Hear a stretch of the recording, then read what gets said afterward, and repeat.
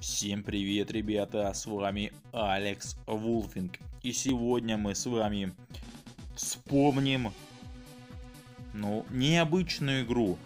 Игру от э, известных разработчиков. Игру, которая, ну, вот подарила мне все же, наверное, эмоции за долгое время. Прям, действительно, я когда в нее играл, я прям, ну, кайфовал. Объективно говорю, могу об этом признаться. Это Condemned первая часть. И знаете, мне всегда э, казалось, что Монолит, профессионалы по разработке шутеров, вот прям они вот умели всегда их делать, их всех шутеры были крутыми, но Condemned это прям что-то, это вот действительно это что-то с чем-то. И если немножко вспоминать то далекое время, когда эта игра только вышла, я в нее не играл, не планировал. Помню, как это один раз я ее установил, дошел до элемента, где нужно вот изучить труп, так что-то думаю, какая-то хинея, какая-то какой-то бог с вами даже в этой... И, короче, удалил, понятно, дурак, дурак. Потом, когда э, приобрел Xbox 360, закинул эту игру, сразу посмотрел, блин, надо, думаю, надо пройти, надо пройти, вот обязательно надо пройти, игра вот прям смотрится круто. Ну, понятное дело, опять же, у меня руки не дошли. И а, мне кажется, где-то вот, а, вот между вот этими делами, или даже было, не, точно не помню, я прошел черную метку от наших разработчиков, именно от а,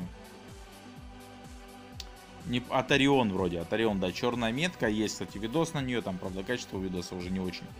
В общем, все ругали черную метку за ее э, скучный геймплей какой-то, вот это вот э, однообразие, э, копирка кондента, ну, все ругали черную метку. Но я прошел черную метку, вот когда уже был, было в здравом уме, блин, мне игра понравилась, я не знаю, мне была действительно крутая атмосфера, атмосфера прям вот, не знаю, вот вот совершенно две разные игры, совершенно две разные атмосферы, но именно этот геймплей, он здорово внедрен и в черную метку, и офигенно внедрен в Condemned.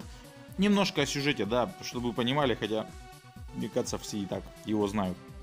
Вы там спецагент, там какой-то мент, там коп, как хотите, так и называйте. Короче, нас подставляют, убивают нашего босса. В итоге все думают, что это сделали мы, но нам надо себя оправдать. И вот мы поехали, короче, ловить самого главного убийцу. Этот убийца убивает других убийц. Да игра не об этом. Игра об офигенной, блять, атмосфере. Просто атмосфера у игры, ну, я считаю, космическая. Я не любитель э, хорроров честно признаюсь, именно хорроров а, не в стиле там Resident Evil там первых, вторых, да, а хорроров вот в стиле там а, Outlast и тому подобных. Блин, но вот понимаете, здесь у меня, конечно, играло очко от атмосферы, потому что, во-первых, самое главное, что есть в игре, это, наверное, то, что вы все-таки человек. Вы человек. И для вас враг любой, это действительно враг. Это чувак, который может вам навалять.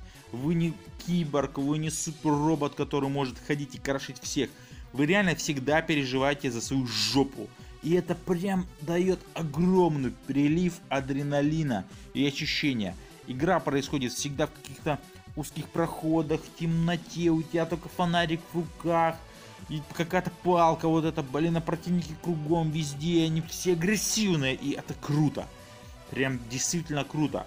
Да, в игре есть какой-то там сюжет, но, честно говоря, вот... Э, хотя, хотя, кстати, вот играя, я прям действительно наблюдал с огромным интересом за сюжетной линией. Да, да, да, это такие есть. Но плюсом сюда мы добавляем звуковое сопровождение, а если ты играешь в наушниках, блять, это охуенно. Вот действительно, другого слова подобрать не могу. Атмосфера у игры просто космос. Сейчас Condemned играет, ну, до сих пор играют круто. Объясню почему.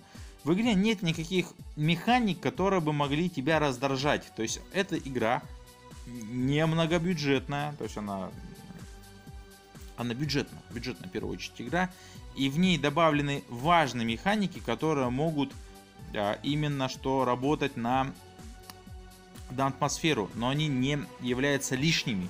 и не является лишним элементом в геймплее.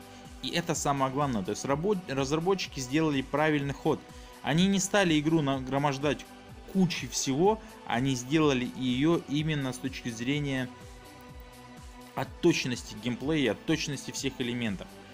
И благодаря этому, а, когда ты играешь, да, ты вот не можешь оторваться. Ну, ты отрываешься просто по одной причине, потому что невозможно играть долго в эту игру, по крайней мере, было мне, я любил так немножко отстраниться, вернуться, отстраниться, вернуться и, ну, реально кайфовать. Поэтому, если все-таки в целом подвести какой-то итог под кондем, то это, блин, офигенно. Игра с точки зрения геймплея, с точки зрения атмосферы. Это офигенная игра вообще в целом. И я вот максимально жалею, что я не поиграл ее именно в то время, потому что сейчас, пройдя ее, я просто безмерно кайфанул. И вам, в принципе, это советую сделать. Но, понятное дело, я и прошел вторую часть, как ни странно, да. Вы знаете, что я вторые части или продолжение всегда прохожу хер знает когда, а тут я прошел ее практически сразу. И следующий видос будет именно по второй части. А с вами был, конечно, как всегда, Алекс Улфинг. Крепитесь, э, не болейте. Пока-пока.